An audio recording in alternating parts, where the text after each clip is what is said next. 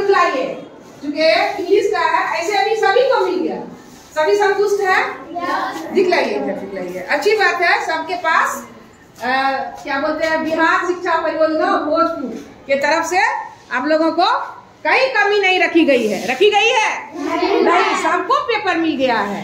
अच्छा अच्छी बात है बहुत अच्छी बात है। देखिए बच्चे पेपर भी दिखा रहे हैं और इंग्लिश का पेपर है और दिखला रहे हैं।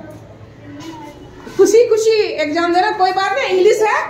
इंग्लिश तो यूनिवर्सल भाषा बोला गया इनको।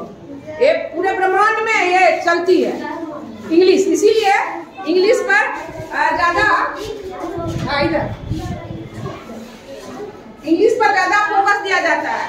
इसलिए देखते होंगे कि हर जगह प्राइवेट स्कूल में इंग्लिश मीडियम से पढ़ाई होती है। होती है ना?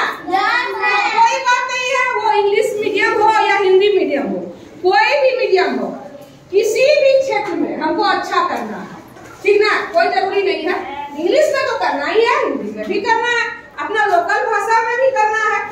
ठीक ना? तो अच्छा से एग्ज़ाम दीजिए। पेपर बहुत अच्छा है। ठीक है, यहाँ पर इसको लेकर के और इसको लेकर